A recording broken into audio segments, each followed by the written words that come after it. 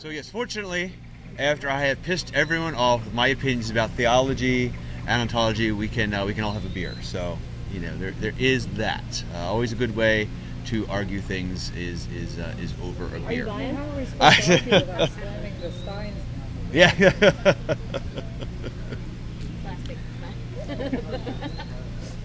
Okay. Well, might as well. Uh, I'll I'll I'll just start rambling on here. I think the first little bit I have to say is not. Uh, anyone who comes in late won't miss too much if I just start with this. Uh, so hello, thank you for coming.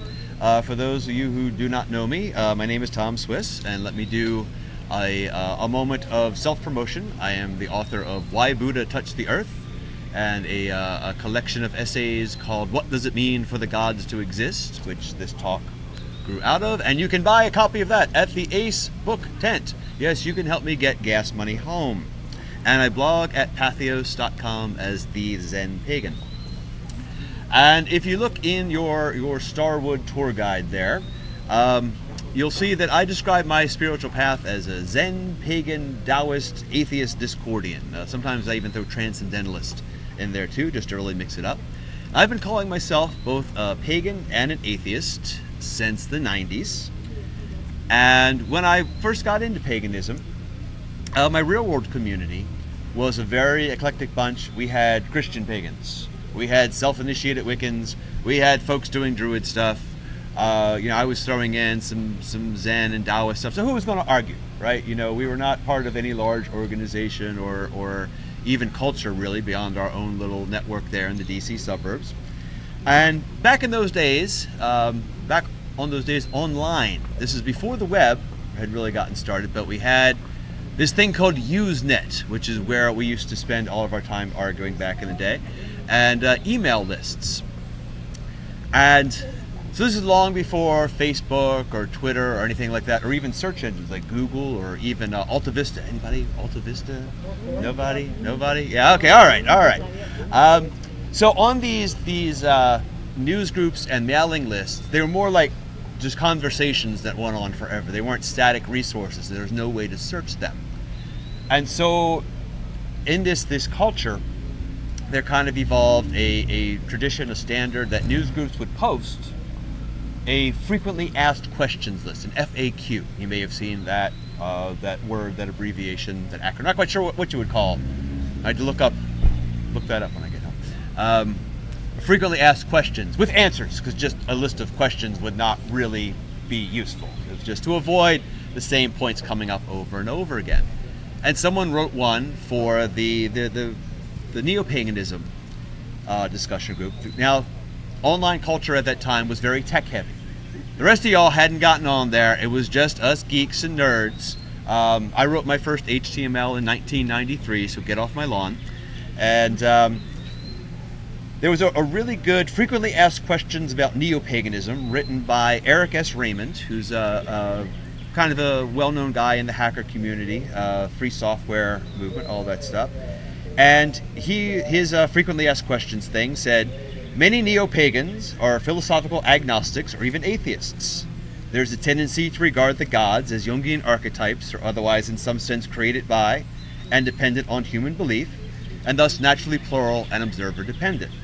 Uh, uh, Raymond was he was a Wiccan priest at one point. He was also uh, a Zen guy, so as the Zen pagan, I thought, oh, okay, yeah, got some uh, got some interesting point of view there. So if you're interested in that whole Zen paganism thing that I talk about sometimes, you might look up his spiritual autobiography, which is called uh, "Dancing with the Gods." It's just an essay; it's not a book or anything. You can find it online. Uh, unfortunately, uh, Raymond, or ESR as we hackers call him, kind of went nuts after 9/11. Uh, went to serious, wacky conspiracy theory bullshit. So there's that. But his older stuff about neo-paganism, some of the stuff he wrote is is pretty good, pretty useful. So nobody complained, is the point about my pagan atheist identification back then, and uh, I've had that in my bio, 15 or 20 years, uh, presenting at Free Spirit Gathering, at Starwood here, uh, on my blog, in my books, and the uh, neither the pagan police nor the atheist agents have yet come to take me away. So you can do that. You can get away with it. You know, if you yourself are, oh yeah, paganism. This, this this feels right, but I don't know if I actually believe with a capital B. Uh, you don't have to. Okay, uh, that's a point I would I would like to make. Um, we get into a whole thing about how paganism is more about practice than dogma, but we don't have so much time today. And in fact, there are enough of us out there who who claim the label atheist pagans, or sometimes uh, humanistic pagans, or naturalist pagans, or a couple other um, non-theistic pagans instead of atheist. Uh, a couple terms that, that we try to finely grade in exact right language. There's a, a collection called uh, Godless Paganism. Came out two or three years ago, and it's all essays. I've got uh, two pieces in there by people who claim those labels. So, if this is interest to you, I I was going to bring my copy to show you, and then life happened. But uh, you can you can easily find it in, in ebook or in Dead Trees version at your favorite local bookstore. Um, but a couple years ago, I went out to PantheaCon out on the West Coast, which is it's a little strange. It's the first time I had been to a pagan gathering that was in a hotel. Like, I gotta get clothes on. What? Where's the fire? Yes, it was, it was a different kind of energy. But um, out there, I met two pretty prominent guys in this uh, in this movement. Uh, Mark Green, who's uh, he, he kind of does his thing under the uh, atheopaganism banner, and John Halstead. He's the editor of that book that I mentioned, and uh, he blogs at huma- humanisticpaganism.com. And I was I was kind of surprised at some of their stories about the hostility that they had encountered uh, about identifying as atheist and pagans. Now, um, you know, in fact, as a, a matter of historical fact, the intersection of atheism and neo-paganism goes way back to the start of the pagan revival. One of the roots of the neo-pagan revival was the Romantics in uh, Britain, the Romantic poets. Okay, Percy Bysshe Shelley, Keats, those guys. Um, Shelley, especially, was big into that. Now, he and his buddies weren't just using the deities as literary devices. They were trying to get beyond their culture's Christianity. They were looking for a new religious paradigm.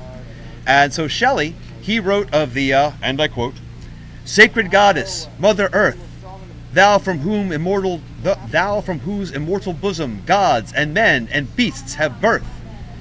And at least one time he raised an altar to Pan, and he wrote about that as the true religion.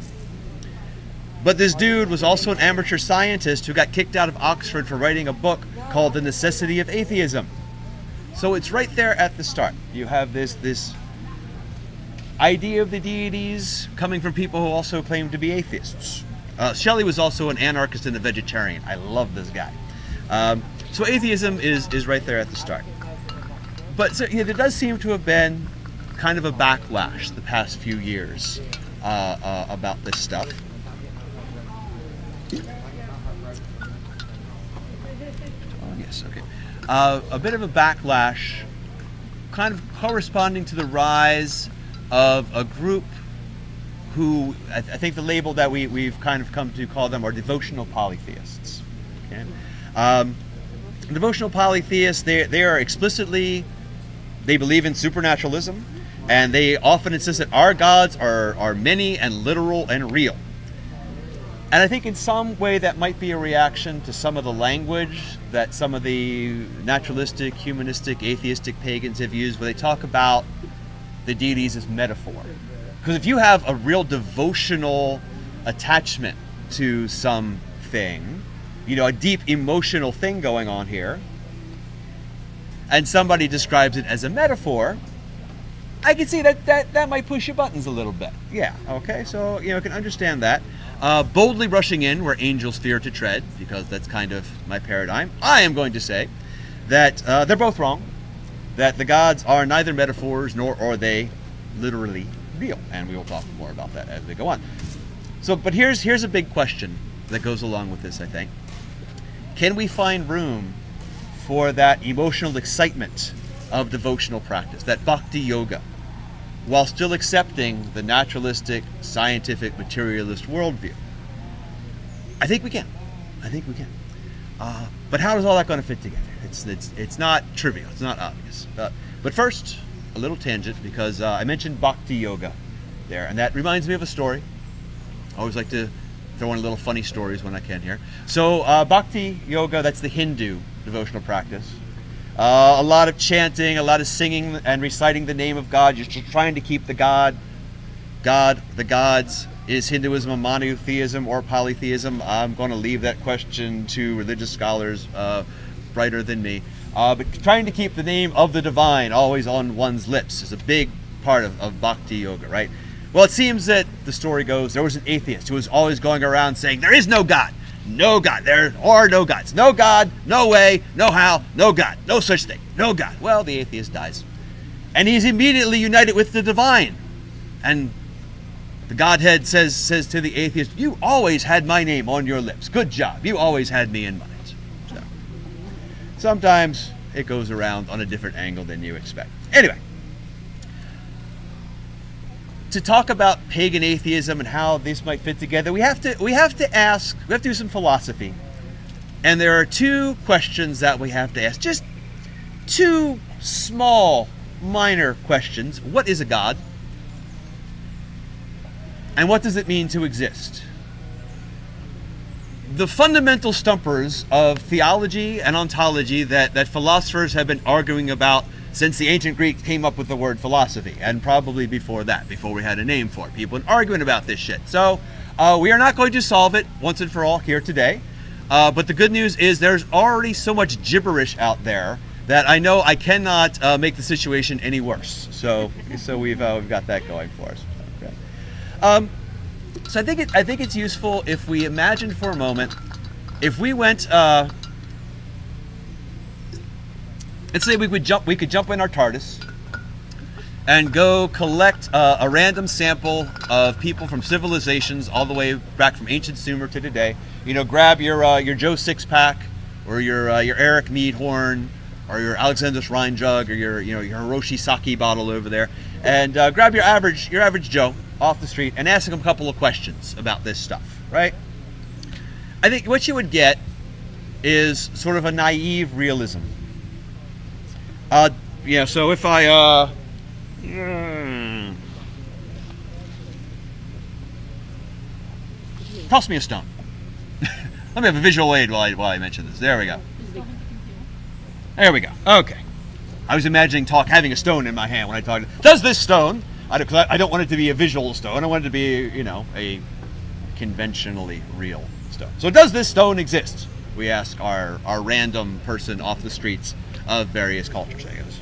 Of course it does. You know, what, what that's a stupid question, right? Okay. Oh, what about that, that unicorn that the town drunk said he saw behind the tavern? Does that exist? Well, unless our friend Oberon has, has been around there. He's to say, no, no, no, no, no. That's, that's just a story. It's a fiction, you know. But, you know, uh, the, the, the part in that story about the, the mayor's daughter and the unicorn, well, that's, you know, it's not literally true, but it's kind of true. You know what I mean? It's, uh, yeah, it's a metaphor, right? Okay.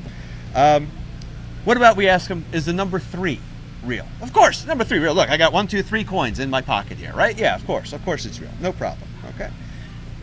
What about people like you and me? Do we exist? Of course you do. I'm talking to you. What kind of, again, what kind of stupid question is that, right? So these are kind of your base reality answers to those questions.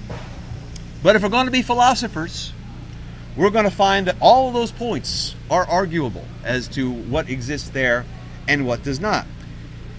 And if we asked our random people about theology, you know, tell me about your god or gods or the chief the chief god of your pantheon, you know, the big the big the big cheese of your pantheon. You know, the picture that we get is basically a king.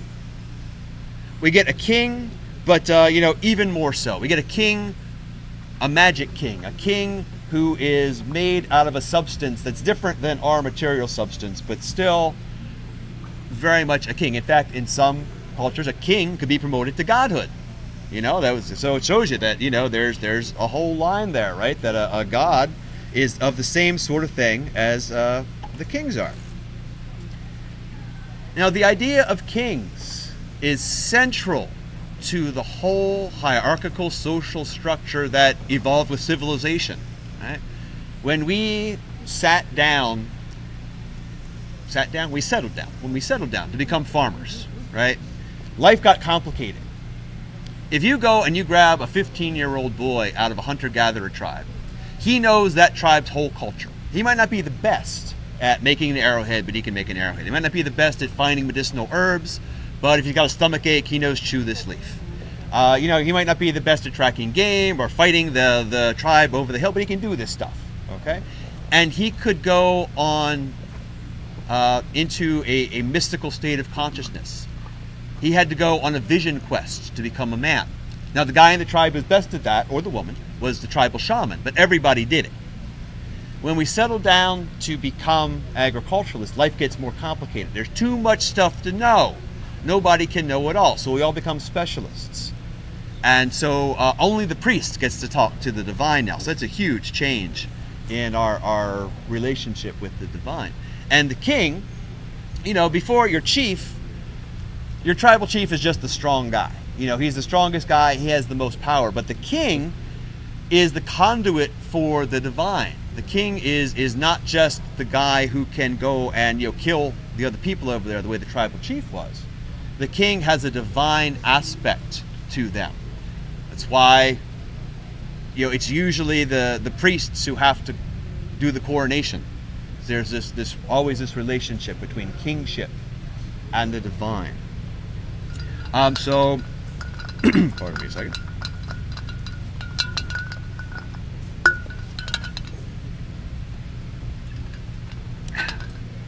So the king is central to this whole hierarchical social structure. And, you know, it kind of makes sense to just kind of project that up, that power structure up into the heavens, you know, as below, so above, right? So our God happens to look a lot like our king. Wow, hey, you know, what a, what a, what a strange coincidence that is, right? Um, you know, we know that every piece of land has to have a ruler, like somebody owns it. This is, I'm a peasant, this is my little plot, but it's mine. You know, the, the, the local feudal guy owns this plot of land. The king owns the whole country. Well, there must be somebody even above that who the whole world is his thing, right? And that's comforting to a lot of people. Me, I'm a Zenarchist. I look forward to the universal enlightenment and the abolition of the state. But a lot of people find that social structure comforting, right? You can know your place. You know your place in society.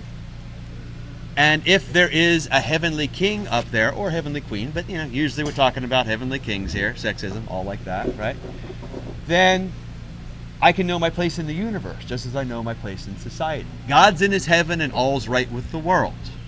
That that idea that there is a, a king up there is really comforting. And um, I do think it's problematic that in our democracy, most people believe in a spiritual monarchy. Uh, I think we haven't quite uh, sanded that one out yet, and uh, we'll see how that uh, plays out over the next couple centuries, I suppose.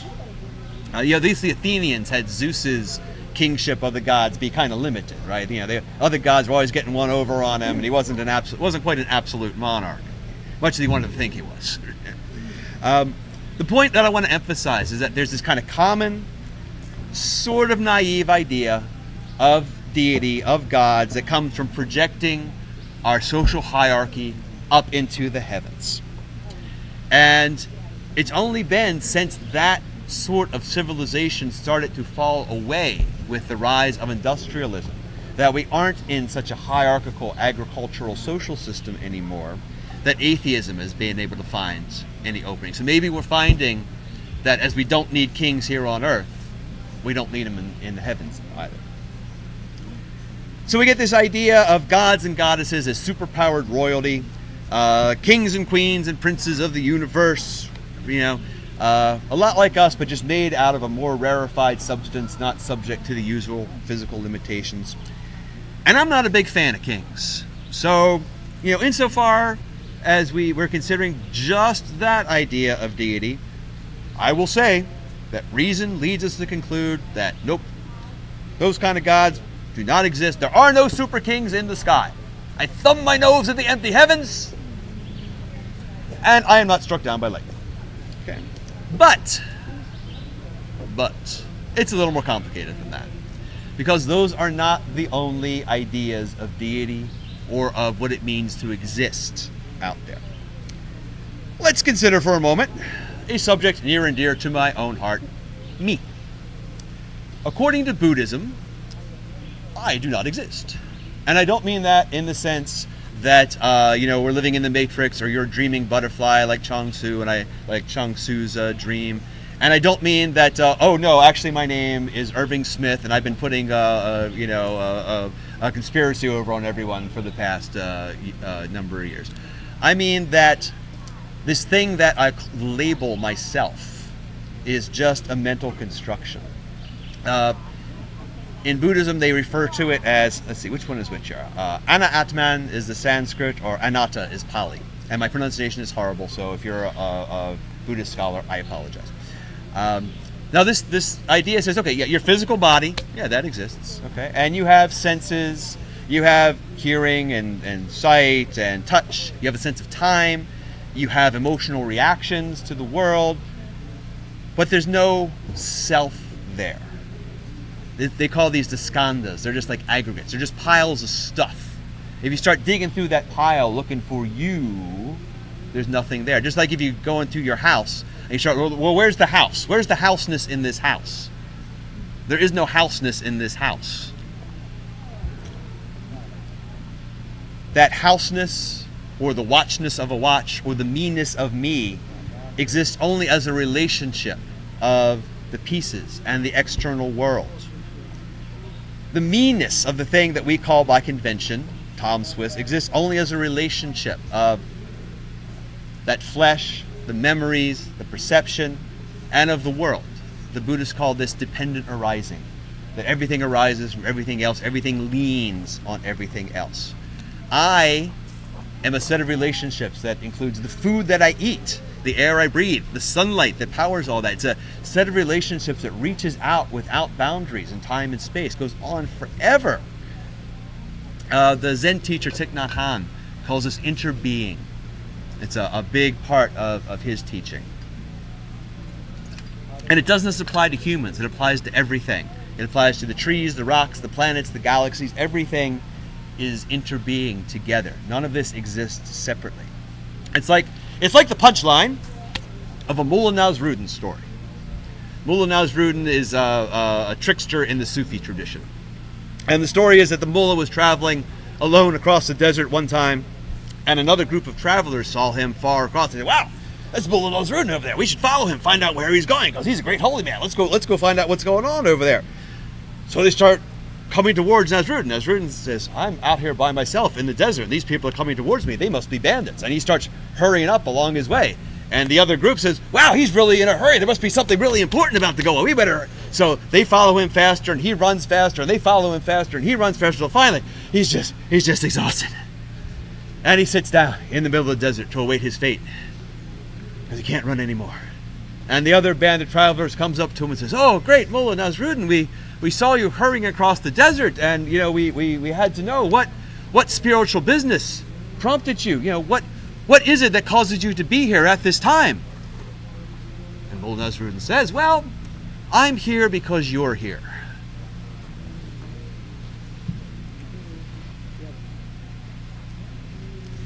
If my existence, if the existence of me is so conditional on the world around me, or if Mullah Nasruddin's being there at that time and that place was conditional on those other travelers in the desert and the you know all that all that stuff around there, you know, what about the deities? What if just spitballing here? Okay. What if a god is a set of conditions that arise in the world? A relationship between phenomena. That's something a lot more subtle than that idea of super right? And it's something that's a little bit more observer, a lot more observer dependent, a little bit harder to nail down and say yes or no, right? And this idea of uh, of no self, of anatta or anatma, also changes the way that we look at death. If I have never been born, if I don't exist, well, the good news is I can't die, right? That's that's that's, the good news behind uh, all that here. It's said that the Zen master Bankei lost his fear of death when he realized this. That uh, he was very scared of death as a child because his mother would would punish him by pretending to be dead. Man, that's pretty abusive, I think. But uh, so he, he grew up with this fear of death, and when he was sitting in meditation and he realized, wait a minute, what is it that I'm worried about losing? There's nothing there. Or as as uh, uh, Monty Python reminds us, you come from nothing, you go back to nothing. What have you lost? Nothing. Right? Always look on the bright side of life. Yes. Yeah. Just before you draw your terminal breath. Um, yes. You know, so so going back to the idea of devotional practice, right? If so, I, I, I will tell you. I'm Just going to get a little emotional here for uh, for a moment. Okay. Uh, I love my dad. I use the present tense. Some of you know my father passed away last fall. But yet I do not say I loved my dad. I say I love my dad. And I do not mean that I believe that there is some sort that uh, now he believed this. You know, he was he was not a, a pagan atheist kind of guy. He was a kind of a vaguely Unitarian Christian, I suppose. You know, um, but I do not believe that like some sort of uh, little ghostly uh, pilot jumped out of his brain uh, up into the heavens when he died and is up there looking at me now. Uh, if you are, sorry that I don't believe in you, but you know, so it goes. No. Um, you know what what what this Buddhist teaching tells us is that there was this animate lump of carbon that we tagged with the name Mark Swiss, but that was just the center of this thing, of this set of conditions. Now the only remnant of that is the box of ashes on his desk, because we haven't paid to get the family plot opened yet to, to, to, to put him there. But all those other things are still around because nothing stops. Nothing just disappears out of the universe. You know, my father is still here in the way that I say howdy to the toll collector, in the way that the scores of kids he taught baseball root for the Orioles back home. You know, um, he's the way I like driving through the mountains. I was thinking about that uh, on the way over here. You know, we never, we almost never went to the beach for vacation. He liked to to get a cabin up in the mountains. I'm like, he liked to he like he liked to just go for a, a long drive up along Skyline Drive or whatever. Yeah, like, I like this too. I never realized that. But yeah, just a little little bit of my dad coming out in me. All these things are still there. Dad is just a lot more spread out than he used to be. It's a little more subtle. So that's one very different idea uh, of the deities. Now another, the Ouija board. Now, if I, because I'm talking about deceased people and everything, you might think that I'm going to try to contact spirits and everything here with the Ouija board. But how many of you have ever messed around with the Ouija board? Yeah, I know. I figured. I figured it would be pretty. Okay, we got a couple who haven't. That's, I figured there'd be there'd be some who haven't. So, if I'm putting on my skeptical materialist scientist hat for the moment, for the moment, okay, if I'm using a Ouija board by myself or someone else is using a Ouija board by themselves, I can say, okay, this person has worked themselves into a dissociative state. You know, the, the some non-conscious part of their brain is moving that little guy around. It's a surprise to their conscious mind, but you know, automatic writing or moving the planchette around on the board. Okay, it's that's not hard. That's not hard to explain. When you have two people using it, though, it gets a little weirder, right?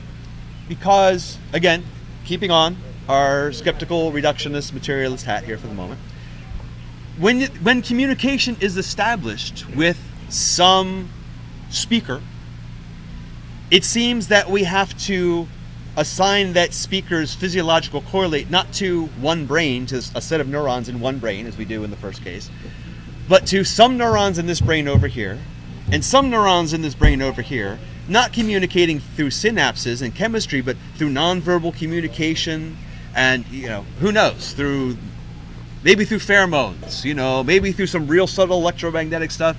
I don't know, you know, but through some non-verbal but still physically uh, manifesting means, there's some way that these two brains are creating a sort of uh, a sort of a weak group mind. Now, let's see, how are we on time? Yeah, we got a few. Would, would we like to try this experiment for those who have never seen this before? Could I get two volunteers who might want to come up and give this a whirl? We're just gonna, we're going to ask we're to ask if we can get one word. We're going to see if we can form a temporary entity here between these two ladies. and ask it for one word. A word to guide our meditations here. It is this is the genuine William Fuld talking board. First created in Baltimore, hometown pride. Okay. A little old school. A little old school here. Play quarterback. All right, so you guys know how this works. You're going to place your fingers lightly on the, the, the indicator there. Okay, might work if you have it, better if you have it symmetrically to each other there, as they demonstrate on the box how to uh, hold the planchette there. I wonder if the, I wonder if this had any. I don't think this. I don't think the Ouija board ever came with any more instructions besides that picture. Really, Just, Yeah. do this Pretty and uh, Yep. and uh, see what kind of weirdness happens. So. He was a knock on it, but you know. So I, I ask whatever consciousness may be present here and willing to communicate with us through through this means, uh, if it would be willing to give us one word to guide our meditations and our revels through the next few days here at Starwood.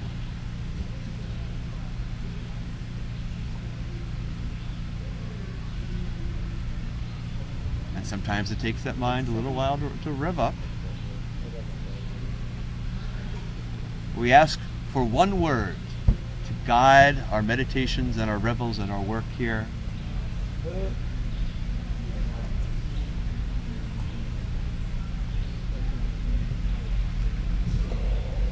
G.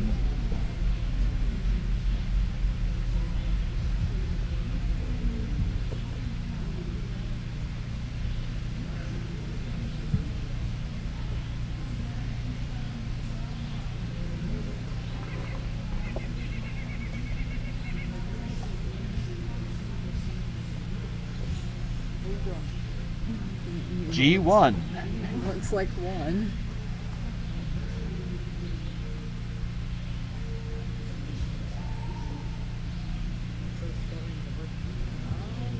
Could be, yeah, gone, maybe, maybe. G. G1G.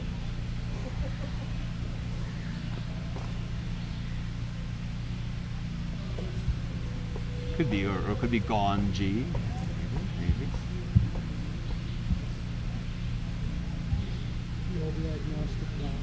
maybe. Goodbye. There we go. You you will have to figure out what that means for you. Uh, gone, gone, G1G, gone G, gone, ganja. That's a good one. That's a good one. Uh, gone, gone is uh, is the translation of the end of the Heart Sutra. Uh, it's a wonderful translation of the the final mantra of the Heart Sutra. Uh, gate gate paragate parasam gate bodhisattva. Uh, Philip Wayland translated that as gone, gone, really gone, gone all the way over. Oh, mama. Or it could favorite, just be uh, good. Good, good, It could have said, good. yeah, Yeah, goodbye there. Just went to the good of Good, the good, goodbye. good. So I, you know, so we got a communication. It was a little, uh, it was a little garbled there, but where did that come from, right? Where did that come from? If we're putting on our materialist hat, somehow these two brains made a link, right? So, and thank you, ladies.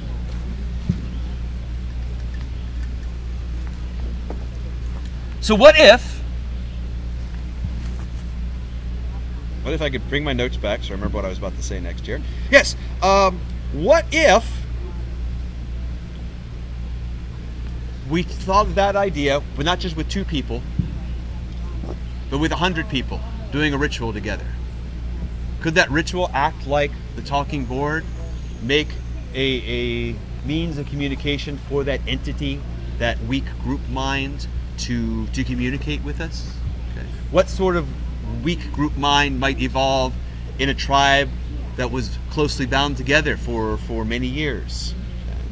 So there's another idea of, of deities, very much a tribal deity there because it has it's not in you, it's not in you, but it's in all of us. God is in all of us. Well, yeah, sort of, you know.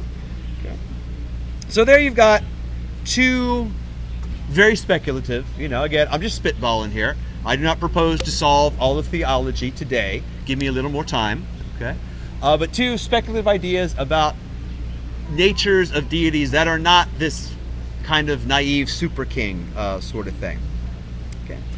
So I want to go back now and, and think about. We asked our, our random sampling of citizens from around the world cultures about what was real, okay? About um, uh, ontology. That's the, the branch of philosophy that asks, what's real, man? What's really real? That's the, that's the fundamental question of ontology. And yeah, right. Okay. So talking about anatman and non-self, we've kind of we've kind of learned that when we ask, well, are you real? Am I real? It's it's more complicated than we first thought, right? So, okay. Well, people are complicated. Okay, people are complicated. All right, we, we can put that aside, right? At least we can agree that numbers are real. I mean, numbers, that's the purest science, right? Yeah, that's that's you know that's uh well, there's actually uh, quite a bit of debate about that when you get into the philosophy of, of mathematics. So, in philosophy in general, there are kind of two big schools. All right, there are the, the, the Platonists who take the position ascribed to Plato that the abstractions really exist. They are really real. That in addition to like a coin being circular, there is the, the circle. There is an abstract circle which is absolutely real. It's a real thing. The perfect circle exists. It exists. It does not exist in time and space, but it exists. It is real. And then you have the nominalists, and these include some heavyweight philosophers like uh, Thomas Hobbes, John Locke. So not, you know, not your B team. There are some some serious philosophers uh, uh, on this one who say that what exists are the particulars, and circle that is just a convenient name. It's just a label that we give stuff so we can get shit done. Okay. And there is no agreement on this after all the centuries. Another a common example of this is color. So we can agree that that's red. At least those of us who don't have color blindness and those of us who have, you know, statistically normal vision, right? We say that's red. We all agree that's red. Uh, that's red. That's red. That flag over there is red. I don't have anything red. Uh, How about that? Okay. Uh, so we can, we can agree on that, more or less. Yeah, we can argue about the edge cases. Now, I'd say that's purple, right? But you know, the general, in general, we can kind of agree on what's red. But does the color red exist as a noun, or is redness just an adjective? And we sometimes use it as a noun for linguistic convenience, but really, it's an adjective. This is not a question for which there is an answer. Okay. Um, Darkness focus, and red and blue. Yeah. yeah. Our, philosophers have been arguing about that one again since the time of the ancient Greeks. Um, and this found its way into mathematics in the 20th century. There are Platonic mathematicians who say, yes, numbers, three exists. Circ- yes, circularity exists. These things are real. And others who say, no, this is this is just a label. You know, we, we use the same label when we have three coins as when we have uh, you know three uh, three bottles of beer for convenience because it's easy for us to talk about it that way. But it doesn't mean that there is something real that exists there that is the same. So if mathematicians can't agree, mathematicians of all people can't agree on whether numbers exist, I think we can have a little slack about the question of whether the gods exist, okay? All right, well, no, all right, numbers, numbers are for eggheads anyway, right? Okay, people are complicated. Numbers are for eggheads. You know, let's let's get down, let's get down to solid stuff here, right? We can all agree that stones exist. That this, you know, stones and bricks and stuff like that, that's real, right? Well, uh, some of you guys have probably heard, I'm sure, of Richard Feynman. Okay, the uh, uh, the the physicist. Yeah. Okay. Um, he was uh, uh, considered to be the greatest mind in physics after Einstein in the 20th century. All right, um, Nobel Prize winning physicist, um, and a man of, of broad curiosity. Okay, he would kind of jump into a class here and there and just see how far he could get with it. He was a real raconteur, loved to tell stories. He was into drumming. I, I can imagine him getting down with us around uh, around Paul Paul one because he hung out you know he hung out at, at Esalen. He didn't believe in all that stuff, but he was just like there's some pretty girls around and taking uh, you know a bath in the hot springs. I'm down with this. You know I don't believe in all this nonsense, but hey whatever. So, yeah, I, I could I could I could see him coming on out to uh, Starwood. You know if we had uh, a time machine. If we ever get the TARDIS, we're gonna grab we're gonna grab Richard Feynman and, and bring him Yes. to Starwood. Yeah okay. But uh, so one time he this was his thing when he was a graduate student. He would just like go into a class and say, well, I don't know anything about this, but I'm a smart guy. Let's see how far I can get, you know, on this topic that I don't have anything, any background in. So he goes to a, a philosophy seminar where the students are talking about the idea of an essential object, which apparently is some academic philosophical term of art. I don't know what it is. Don't ask me. Feynman didn't know what it was either because he wasn't an academic philosopher. Okay, and uh, he's trying to figure out what they're talking about, and so he asks the professor, "Well, um, is a brick an essential object?" Seems like that would be a pretty cut and dried question. And uh, uh, he wrote a story about this later, and he says, "What I had intended to do." Was to find out whether they thought that theoretical constructs were essential objects. The, the electron is a theory that we use. It is so useful in understanding the way nature works that we can almost call it real. Let me say that again. He said we could almost call the electron real. I wanted to make the idea of a theory clear by analogy. In the case of the brick, my next question was going to be what about the inside of the brick? And I would then point out that no one has ever seen the inside of a brick. Every time you break the brick, you only see the surface. That the brick has an inside is a simple theory which helps us understand things better.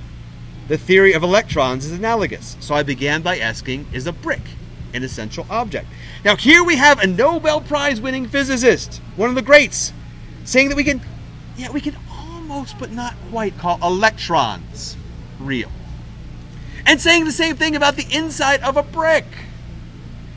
According to Feynman, both are theoretical constructs which should not be confused with real reality. And the philosophy students, as in all good stories about philosophers, were unable to agree on whether a brick was an essential object. So, so again, if, we can't agree that bricks and stones and electrons are entirely real, how can we make firm statements about the gods? So I think, I will now tell you what I think about these great puzzles, because that's why you have come here, right? I think the answer to this, what we need, is a sort of contextualism. When we ask these questions, we have to ask, well, in, in what context does this thing exist, right? And there is apparently a fancy philosophical name for this. I was so sad to learn I had not discovered this concept uh, all by my all by my lonesome for the first time. Uh, ontological anti-realism. There's a good explanation of that. We're gonna we're gonna explain exactly what that is, but we, gotta give you some terms first. I think this is a really good idea, but we need to we need to hold tight for a little bit of, of philosophical uh, lingo here. So ontology, right? Ontology is the branch of philosophy where we ask what's real. Okay. And so uh, uh, a meta ontologist is someone who gets meta about ontology and asks, well, what what system of ontology should we use? Okay, so ontology, philosophy of what's real. Meta ontology, philosophy of asking what type of philosophy of what's real should we use. And I suppose we could get meta about that and meta about that and infinite regress as we always could, but let's not do that right now. Okay? Uh, Mereology, uh, this is another word I'm going to pronounce hideously. Mereology is the branch of ontology which deals with relationships between parts and wholes. So when we ask, we, I take two things and I stick them together. Have I made a new thing? Or do I just have two things stuck together? That's, that's the big question there. So a sum means when you take two things and you glom them together and you get a new thing. Okay? So you have Mereological universalists who, uh, who say if you take any two things and put them together, you really have a new thing. You have a new thing has come into existence. And then you have nihilists, nihilists who say, no, only the basic building blocks exist. You can glom them together as much as you want, but all that really exists are those basic building blocks. Okay? And we talked a minute ago about Platon, uh, uh, Platonists and nominalists. Platonists believe that those abstracts are really real, that red exists, that circularity exists. Nominalists say, no, no, no. They're just names for, for our observed phenomena. Okay, so with that, we can handle the explanation of uh, ontological anti realism that the philosopher David Chalmers gives us. For example, the ontologist, the guy who studies existence, may ask, Do numbers exist? The Platonist says yes. The nominalist says no. The meta ontologist may ask Is there an obvious fact of the matter whether numbers exist? The ontological realist says yes. The, the ontological anti realist says no. Likewise, the ontologist may ask Given two distinct entities, when does the mereological sum of those two entities exist? In other words, when we glom two things together, do they really make a new thing? The universalist says always, always. The nihilist says never. The meta ontologist may ask Is there an objective fact of the matter about whether the sum of two distinct entities exists? The ontological realist says yes. The ontological anti realist says no. Ontological anti realism is often traced to a dude named Carnap. Uh, Chalmers did not say a dude named, but yeah. Ontological anti realism is often traced to Carnap, who held that there are many different ontological frameworks, holding that different sorts of entities exist, and that, while some frameworks may be more useful than others for some purposes, there is no fact of the matter as to which is correct. Let me say that again. Some frameworks about what's real may be more useful than others for some purposes, but there is no fact of the matter as to which one is right. One might, uh, I, I would say that's kind of a pragmatic attitude. I don't, I don't think that you could get into a whole history of philosophy thing and whether that counts as philosophical pragmatism or not. That's that's beyond my uh, that's beyond my pay grade. But Okay. Yeah, yeah. Now another another quick tangent because you do kind of hear that. Well, you know, there's no actual fact of the matter about what exists from from sort of the, the postmodern and uh, critical theory folks out there. But what gets lost in that is that once you have a specific purpose, like getting useful shit done in the world, you know, you can say that some frameworks are more useful than others. Okay, so it's not like, well, you know, Newtonian gravitation, man. That's just a uh, that's just a, a white imperialist, uh, you know, uh, imposing their view on the world. It- it- no, it's actually once you decide that you want to get shit done, like send a satellite into orbit, it's really useful. You know, we could say it's not more real than other frameworks when we're sitting around here drinking beer in this context. But you know, when you're trying to do some engineering, when you're trying to do some rocket scientist, some rocket science, uh, Newtonian physics works pretty darn well. Even if we know it's not 100% in some other context, right? Okay.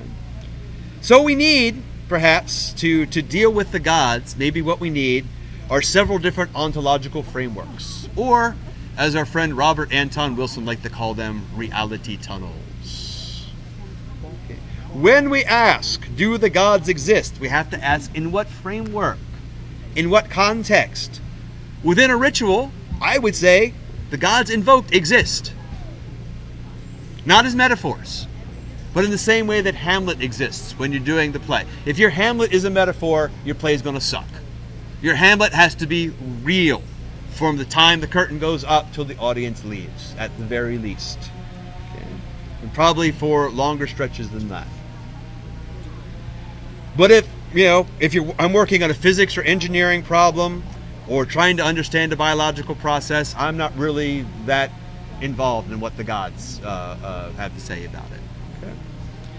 Uh, the gods do not exist when I make my personal budget. As much as I could use a miracle to help with the finances, so please buy a book. Um, you know, but when I sit down to try to figure out how can I lead a life of prosperity and usefulness, and I might want a little divine guidance on that question. Uh, if I'm doing healing work and the person wants me to pray for them, whatever their gods are, they, they exist quite quite uh, they're quite real for the duration of that work. You know, I don't care you're you're you're a Christian, you're a Muslim, you're a Hindu, you're you're a pagan, uh, whatever. You know, I will I will do my best to make your God real to me while I'm doing that work. Um, uh, as uh, uh, Neil Gaiman's Morpheus, Sandman once said, uh, "I am of all faiths after my fashion." and I will I will steal that idea uh, as necessary. On the other hand, you know, a couple of years ago, and some of you know this story, I found myself doing CPR on someone, a, a friend of mine, and it was a very intense moment, and I was very aware of the energetics, you know, the the the, the mythic reality that I was blowing air, I was being the breath of life for this person. But I was not worried about the gods at that moment. I was it was all about reductionist biomedicine and we're going to pump on this chest and we're going to move air around and that was the thing on my mind. But a couple days later, uh, and he is fine now. He is a, a, a walking medical miracle. Uh, some of you may know that uh, Telesma. They played here before. This is Ian Hesford from Telesma, who was dead for an hour and a half and came back. He is our favorite zombie, and uh, he is in better shape than I am now. Um, so it's, it's it's quite a story. The, man literally died on stage, um, and came back. But a couple days after that, I was yeah, right right after all that went down, I was headed for Japan. He was still in a coma when I left the country. And uh, when I was in Japan, there is a, a temple in Nara. Uh, Nara is Nara is a 3,000 year old city uh, outside Kyoto. It's one of my favorite places in the universe. And there is a temple there to the healing Buddha. Uh, it is called the New Temple of the Healing Buddha because it was built in the year 700 something, not 1700 and something, the year 700 something, as opposed to the other temple of the Healing Buddha that's about 100 years older. Um, and I went to that temple the first time I was in Japan shortly before I went to study shiatsu and uh, acupressure and stuff. So it's always been a very meaningful place to me. And I went there because, you know, not because I thought that the healing Buddha, that Kushi was like a, a super god who could reach down from the heavens and and you know help my friend, but because it seemed like it seemed like the most beautiful thing I could do in that moment.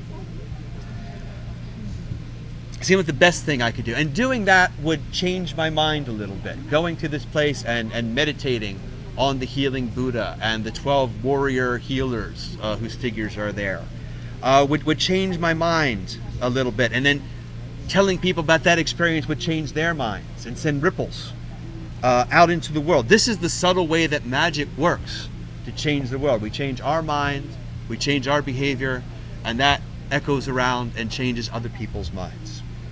And it's natural, our brains are wired for it, to take that, that subtle flow of uh, an intention and attention and energy.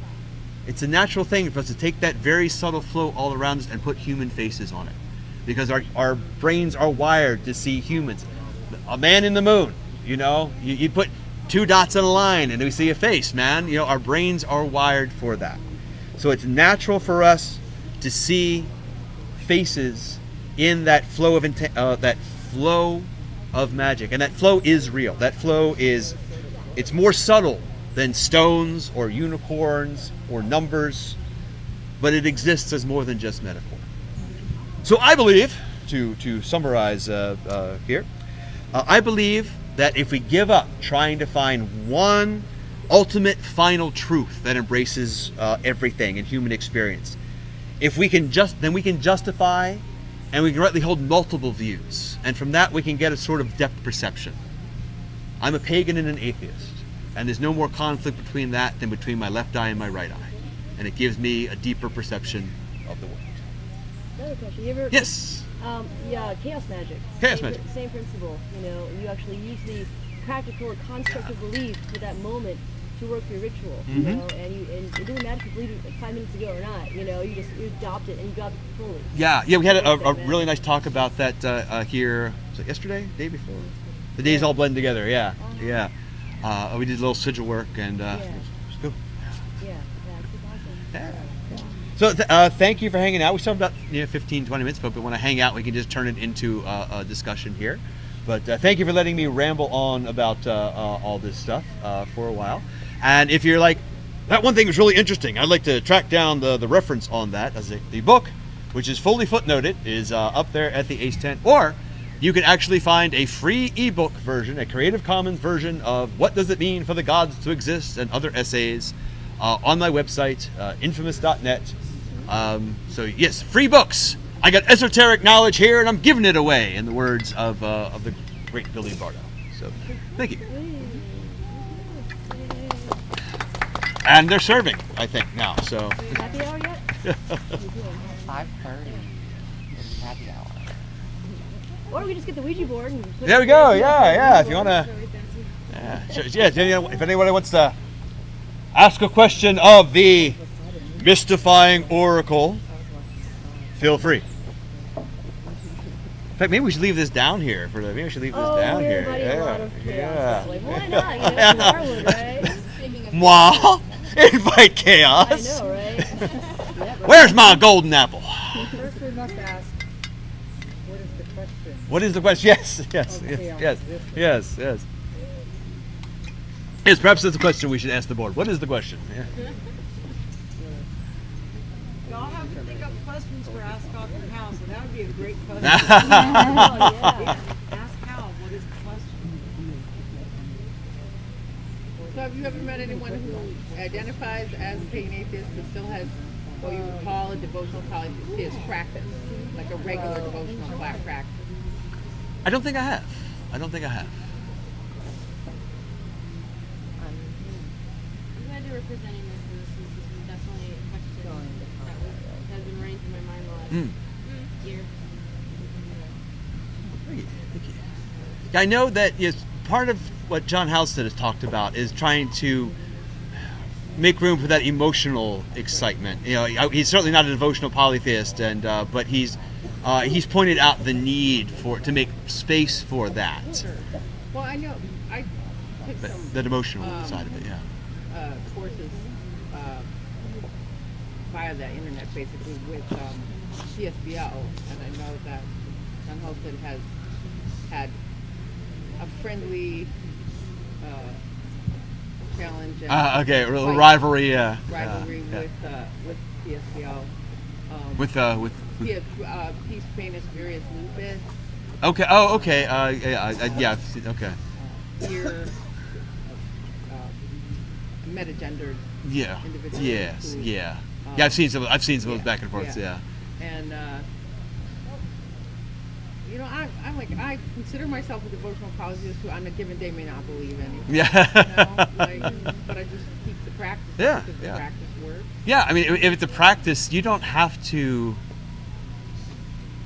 Dogma and practice do not necessarily have to go together. You know, one of the, one of the most interesting experiences that I've had in, in trying to learn about religion was I was very fortunate when I was in Japan that I, I met a Shinto priest who had gone to law school here in the U.S., so his English was flawless.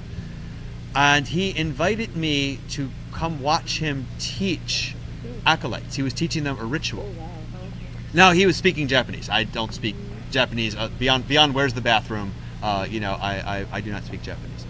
Um, but it was I, I could still get a sense of what he was doing, which is he was teaching the ritual, the mechanics of the ritual. You pick up this implement and you move it like this, and you move to this side of the altar, and you you do this, and there was no dogma involved. You don't you don't have to believe there. I mean, there is no creed of Shinto, as with most of the the ancient um, polytheisms, pantheisms. What label do we want to put on them? Again, uh, uh, we can argue uh, about that. But those traditional practices usually are so much more about what do you do than what do you believe, because nobody wrote it down.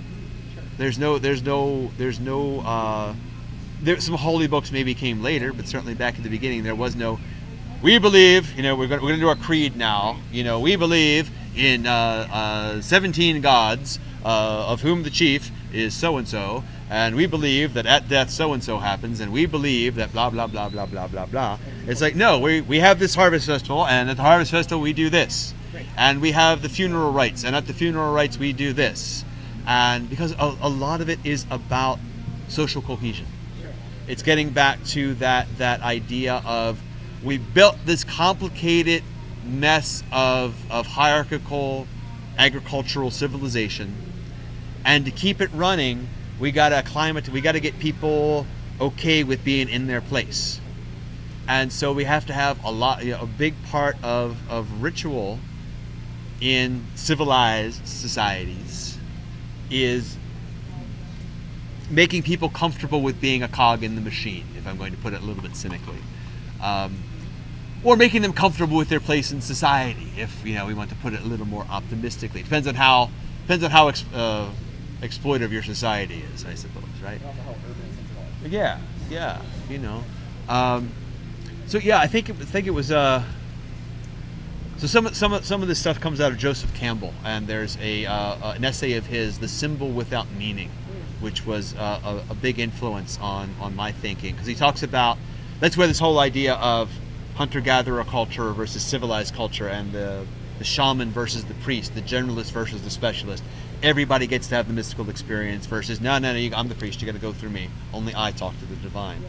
And it's it's uh, Campbell's contention that that's falling apart now. This uh, the mandala is falling apart. We are now getting into a phase in human existence where we need to get back to that direct experience of the divine. Of, of Democratization of revelation. There you go. I like that. Yes, yes, yes. No, no long, no, no more. Just, just uh, you know, only the priests get to do it. We all get to talk to the divine. And if everybody's talking to the divine, though, people are going to start hearing different things. That's that that can make for chaos, right? I'm, I'm on the uh, I'm on the subway in Manhattan a couple years ago, and this this this street corner preacher comes in. This woman comes in, and she's going off, and she's going off about homosexuality. Adam and Eve, not Adam and Steve. And there, there's a, I, I'm, you know, I don't want to assume, but I'm, I'm, I, I will put, you know, good odds down that the the two ladies behind me were a lesbian couple because they are really getting uh, uh, upset about this. And so I turn and I put on my, I put on my preacher voice. I say, lady, you heard God wrong. and it shut her up. And uh, you know, and she and her husband just cast daggers on me with their eyes, and you know, who knows what uh, what cursing they were they were putting on me there.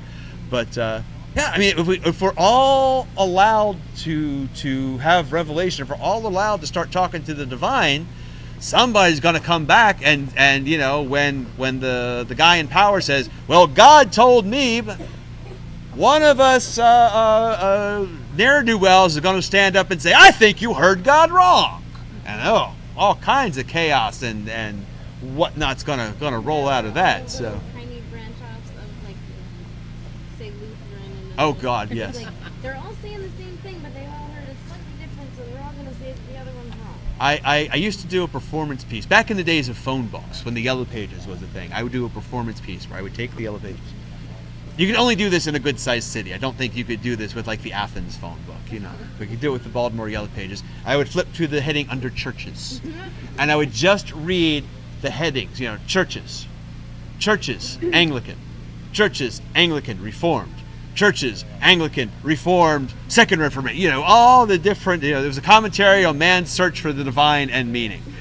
Uh, you know, because it would get funny. The churches, Baptist, churches, Baptist Southern, churches, Baptist Southern, Missouri Synod, churches, Baptist Southern, Missouri Synod, Reformed. You know, it would But get down to the- these. The Protestant movement, you know, was to get back to that, you know, back to the experience. Yes. Much closer, because the Catholic Church had so many, Right. know, uh, layers between you and God.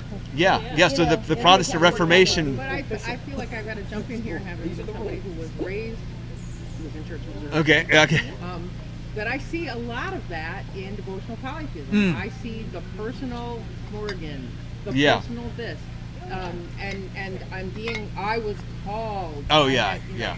And that, I was called. So you must be lying. You heard Right. God wrong. Only I heard God properly. Right. Yeah, And yeah. even even to the point of like God marriages or things Yeah, like that. And yeah, and I I can't participate in that relationship because of how alienating Mhm. the, the being raised. Yes, yeah. It, it, it, some of that does strike me as that that same. Uh, with, with Jesus. yeah, it, it- it's great So to have a personal. That's why I love like Gaulish deities. You can't possibly know anything about Yeah. them from the lore. There's nothing. Yeah, yeah. know, so, um, my personal practice is definitely Yeah. Yeah, if you're if you're you're trying to wait a minute, wait a minute, wait a minute, there, uh, uh, devotional polytheists. You're trying to put limits on deities and say that only you know. Uh, you know, I'm not quite sure about that. I think you've made a serious error. I always said that I was raised born again, and then I was the was like one person that got the message, and then one person that translated it. yeah. Sorry, I'm not fine. Yeah. Guess what? You, you mentioned the the Morrigan. It was interesting. I had an experience at Free Spirit Gathering last year. So there's a group there. They, they do uh, uh, possession working, uh, Universal Temple of Spirits. Oh. It's really cool. Uh, they they their their work it comes out of like the Afro Caribbean tradition, but it's very open. So you know they will invite in deities of many, many, many different pantheons, and they just get they just get the drumming going, and we're all dancing around, and you know, I've, I've never. Yeah, possession isn't something that I, I don't think I don't I don't think I'm ever going to get ridden by a deity like that. I don't think I'm wired that way, but I, I can still have a conversation, shall we say? You know, and I had this at at the ritual last year. Um, so in the middle, I'm, I'm continuing to circumambulate the circle, but it kind of in the middle, someone is having a possession going on, and they're they are having the Morrigan, and their Morrigan that they are channeling is having a whole political thing about we need you know the the feminine now in this moment of Trump and and all like this, and but, that I was I would say that I was having a whole different facet of the Morrigan at that moment because. Um, uh, I had my my mother had just recovered from going that close to death, and I, I said many times, and I'll say it now. It's like there, and there are there are Celtic warrior queens in that woman's ancestry, man, because she is just tough. I mean, she's not a fighter, but she's a fighter, you know. Um, she she lost three feet of intestine.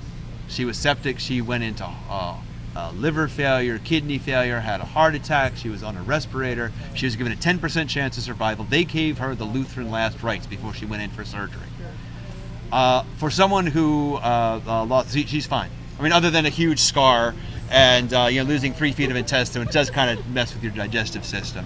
She's going back to work, you know. Um, uh, but the first, when she came back to herself, because for a while there was just nobody home you know. But when she came back to herself, one of the first things she said was she told my dad, "Bring me my weights," just like little one-pound dumbbells, because she lost thirty pounds of, of, of, of fat and muscle, and and she was skin and bones, and she knew like I'm going to have to work to get myself back.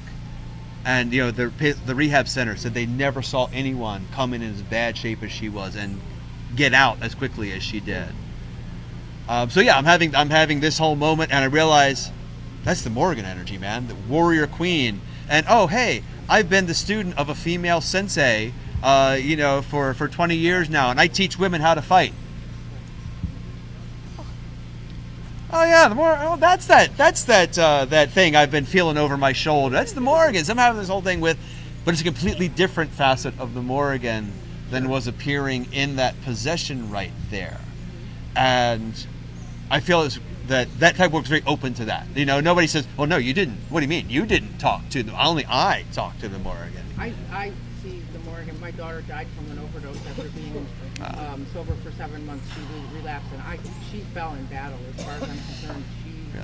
she was a warrioress, and she went down in battle with a very very fierce foe. And So- you know, the, the Morrigan is swept her up And yeah.